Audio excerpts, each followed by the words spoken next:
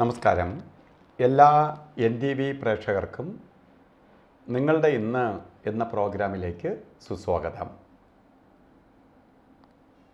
ഇന്ന് രണ്ടായിരത്തി ഇരുപത്തിനാല് ജൂൺ മാസം ഇരുപത്തിരണ്ടാം തീയതി ആയിരത്തി ഒരുന്നൂറ്റി തൊണ്ണൂറ്റൊമ്പതാം ആണ്ട് മിഥുന മാസം എട്ടാം തീയതി ശനിയാഴ്ച.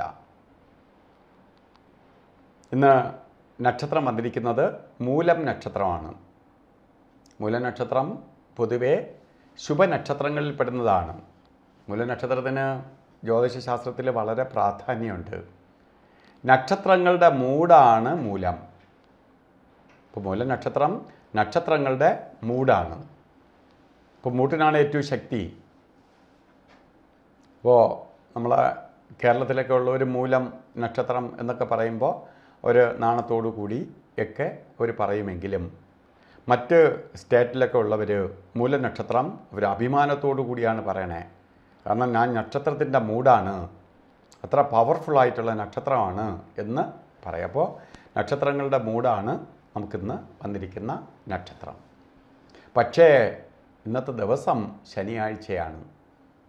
ആഴ്ച ഫലത്തിന് വളരെ പ്രാധാന്യമുണ്ട്. ഓരോ ദിവസ ഫലത്തിന് പ്രാധാന്യമുണ്ട്. ശനി എന്ന് പറയുമ്പോൾ മന്ദനാണ്. മന്ദന്റെ ദിവസമാണ്. മന്ദന്റെ ദിവസം ചെയ്യുന്ന ഓരോ കാര്യങ്ങളും മന്ദതയുണ്ടാകാനിട വരും അതുകൊണ്ട് മന്ദീഭാവം ഉണ്ടാവാതെ സംരക്ഷിക്കണം. അതുപോലെ തന്നെ ജാതക പ്രകാരം ബർത്ത്ഡേ നമ്മൾ നോക്കുമ്പോൾ എപ്പോഴും ബർത്ത്ഡേക്കുള്ള പ്രത്യേകത നമ്മൾ ബർത്ത്ഡേ ആഘോഷിക്കുകയും എല്ലാ മാസത്തിലും നമ്മൾ നക്ഷത്രമൊക്കെ വരും. പക്ഷേ ജന്മ മാസത്തിൽ വരുന്ന നക്ഷത്രത്തിന് പ്രാധാന്യം കൽപ്പിച്ചിട്ടുണ്ട്. കാരണം ഒരു വർഷത്തെ ഫലത്തെയാണ് ആ നക്ഷത്രം കൊണ്ട് ചിന്തിക്കണേ. വാർഷിക ഫലത്തെ ചിന്തിക്കുന്നതാണ് ജന്മനക്ഷത്രം കൊണ്ട്. അപ്പോൾ പലതരത്തിലുള്ള ബുദ്ധിമുട്ടുകൾക്ക് ഇടവരുത്തും. പ്രത്യേകിച്ച് ശനിയെ വിളിക്കുന്നത് മന്ദനം എന്നായതുകൊണ്ട് ഈ ഒരു വർഷത്തെ ഫലത്തെ ചിരിക്കും നിങ്ങളെ കാര്യങ്ങൾക്കെല്ലാം തടസ്സം നേരിടും. കാര്യങ്ങളൊന്നും തന്നെ അത്ര സ്മൂത്തായിട്ട് പോകത്തില്ല. എല്ലാത്തിനും ഇഴച്ചിലുണ്ടാവും. മാത്രമല്ല ശത്രുത വർദ്ധിക്കും ശത്രുക്കളുടെ എണ്ണം കൂടും. നമ്മളൊന്നും ചെയ്യണ്ട. നല്ലത് ചെയ്താലും അവരെ കണ്ണിൽ ദോഷമായിട്ടേ കാണുള്ളൂ. മറ്റൊന്ന് രോഗാദി ദുരിതങ്ങൾ അപകട സാധ്യതകളേറിയ വർഷമാണ്. അപ്പോൾ സാമ്പത്തിക നഷ്ടം വരും കാര്യ തടസ്സം വരും രോഗായ ദുരിതങ്ങളുണ്ടാവാം അപകട സാധ്യതകൾ വരാം ശത്രുത ഉണ്ടാവാം. അപ്പോൾ ഇതിനെയൊക്കെ നമുക്ക് എങ്ങനെ അതിജീവിച്ച് പോകാൻ എന്ത് ചെയ്യണം? നമുക്ക് ശനിയെ തന്നെ വർഷം ഒരു വർഷവും പ്രീതിപ്പെടുത്തി പോകണം അല്ലാത്തവർ ശനിയാഴ്ച മാത്രം നമുക്ക് ചില പരിഹാരങ്ങൾ ചെയ്താൽ മാത്രം മതിയാവും. ഇതൊരു വാർഷിക ഫലത്തെ ചിന്തിക്കുമ്പോൾ ഒരു വർഷവും പരിഹാരം ചെയ്യേണ്ടതുണ്ട്. ശാസ്താവിന്റെ അമ്പലത്തിൽ നീരാഞ്ജനം കത്തിക്കണം ശനിവ്രതം നോക്കണം സൂര്യഭഗവാനെ തൊഴണം ശനീശ്വര യന്ത്രം വേഗരക്ഷയായി ധരിക്കണം. നമുക്ക് ശനി ധർമ്മശാസ്താവിന്റെ സപ്പോർട്ട് ശാസ്താവിനെ നമ്മൾ കൂടെ കൊണ്ടു നടക്കുന്നിടത്തോളം കാലം ശനിയുടെ ഉപദ്രവത്തിൽ നിന്ന് അതിജീവിക്കാൻ സാധിക്കും. അതുപോലെ ഇന്ന് ചില കാര്യങ്ങൾ ചെയ്തേ തീരുള്ളൂ എന്ന അവസ്ഥ വന്നാൽ നമുക്ക് ഇന്നത്തെ ദിവസം പൊതുവേ നമുക്ക് ഒഴിവാക്കാം. എങ്കിൽ ചില കാര്യങ്ങളിൽ നമുക്ക് ഒഴിവാക്കാൻ പറ്റത്തില്ല. ഇന്നൊരു ഡോക്യുമെന്റ് ചെയ്തേ തീരുള്ളൂ. ഒരു എഗ്രിമെന്റ് ഒപ്പിട്ടേ തീരുള്ളൂ. കാരണം ഇന്നത്തെ ദിവസം കഴിഞ്ഞാൽ ചിലപ്പോൾ ആളിനെ കിട്ടത്തില്ല. അയാൾ ചിലപ്പം എവിടെയെങ്കിലും പോകുന്നുണ്ടാവാം. ഇന്ന് എഗ്രിമെന്റ് ഒപ്പിട്ടില്ലെങ്കിൽ ഒപ്പി ശരിയാകത്തില്ല ഒരു വർക്ക് എഗ്രിമെന്റ് ഒപ്പിടണം. അല്ലെങ്കിൽ ഇന്ന് തന്നെ ജോയിൻ ചെയ്തില്ലെങ്കിൽ പിന്നെ ജോയിൻ ചെയ്യാൻ പറ്റത്തില്ല. പ്രത്യേകിച്ച് വിദേശ രാജ്യങ്ങളിലൊക്കെ ആണെങ്കിൽ അവർ പറയുന്ന സമയത്ത് തന്നെ പോയില്ലെങ്കിൽ പിന്നെ അവരത് മാറ്റിവെക്കും. അങ്ങനെ വരികയാണെങ്കിൽ നമുക്ക് അഭിജിത്ത് മുഹൂർത്തത്തെ ആശ്രയിക്കാം. പ്രകൃതിയിൽ ഏറ്റവും പകൽ സമയത്ത് ഏറ്റവും പോസിറ്റീവായി നിൽക്കുന്ന സമയമാണ് ഇരുപത്തെട്ടാമത്തെ നക്ഷത്രമായ അഭിജിത്തിന്റെ സമയം. ഈ സമയം ജാതക പ്രകാരം ഇന്ന് അഭിജിത്ത് മുഹൂർത്തം വരുന്നത് പന്ത്രണ്ട് മണി മുതൽ പന്ത്രണ്ട് മണി മുതൽ ആരംഭിക്കുക സോ പന്ത്രണ്ട് മണി മുതൽ ആരംഭിക്കുകയാണ്. പന്ത്രണ്ട് മണി മുതൽ പന്ത്രണ്ട് മണി ശരിക്ക് പന്ത്രണ്ട് മണി മുതൽ പന്ത്രണ്ട് മണി അമ്പത്തൊന്ന് മിനിറ്റ് വരെ ഉണ്ട്.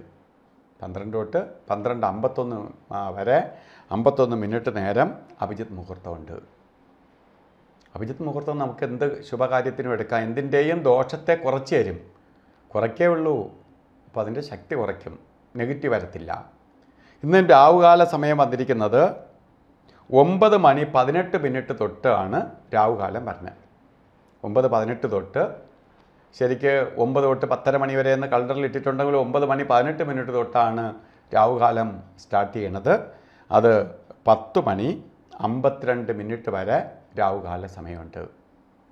അപ്പോൾ രാവുകാല സമയവും ഓരോ കാര്യങ്ങൾക്കും വളരെ ശ്രദ്ധിക്കേണ്ട സമയമാണ്. രാവുകാല സമയം. അപ്പോൾ ഈ രണ്ട് കാര്യങ്ങൾ നമുക്ക് വളരെ ശ്രദ്ധയോടുകൂടി സൂക്ഷിച്ച് കാര്യങ്ങൾ കൈകാര്യം ചെയ്യേണ്ട ആണ്. രാവുകാല സമയത്ത് യാത്ര ചെയ്യുന്നത് വളരെ സൂക്ഷിച്ചായിരിക്കണം. അതുപോലെ നമുക്ക് ഒന്നും ചെയ്യാൻ പാടില്ലാത്ത രണ്ട് സമയങ്ങളുണ്ട്.